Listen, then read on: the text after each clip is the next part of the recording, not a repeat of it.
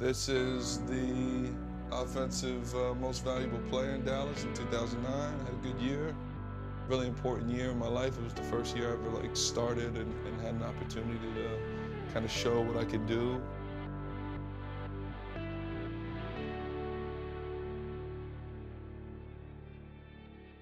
I thought to myself, like, if I don't finish this, how would I be able to push my own kids through adversity, or how would I be able to tell my story honestly? I consider this one of those challenges in my life. Regardless of how late it is, it kind of shows a message, a testament of sticking with it and finishing something you started. My name is Miles Austin, and I'm a Monmouth Hawk. My wife has been really supportive. Say I get home now at four o'clock, I'm gonna be with the kids. I'm gonna be giving them baths. I'm gonna be laying down in their beds. But then right at like eight o'clock when I'm done, I have to pick up on the work that, that you know a normal college kid would be doing during that time. I'm really proud of him. I mean, I know it's tough. I see him every day, you know, go to bed at sometimes four o'clock in the morning and then get up with me at seven and make the eggs for the kids. Miles, who makes the best eggs? Mostly, I think the reason he's doing this is so we can look our kids in the eye and say, listen, I finished my degree because it was important to us.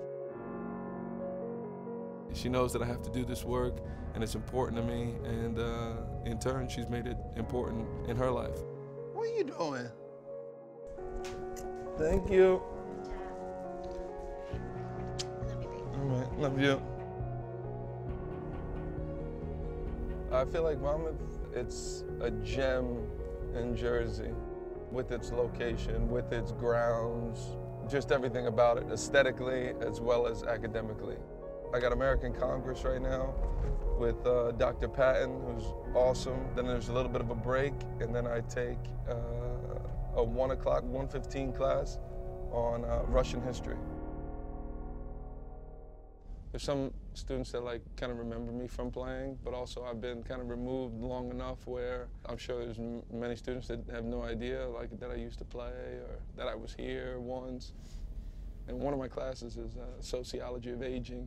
So even though I am older, I still feel, you know, uh, like a college student.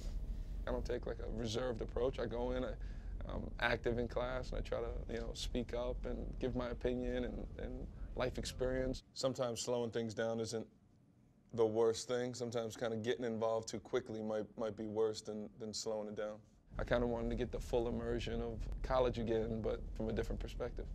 The hardest thing going back is, is getting used to doing all that work again. You, you've been away from it for 10 years and now you're back, you know, thrust into it. I feel like you absorb so much just living that when you do go back, you just have a better Right. baseline.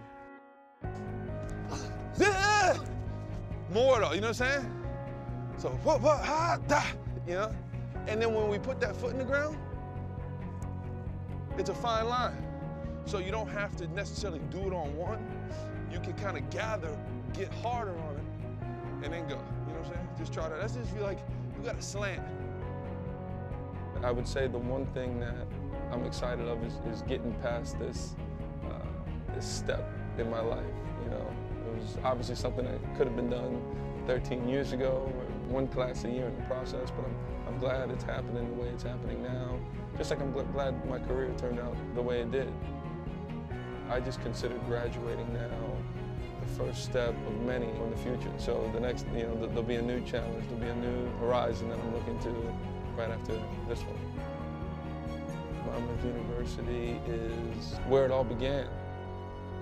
Monmouth University is home.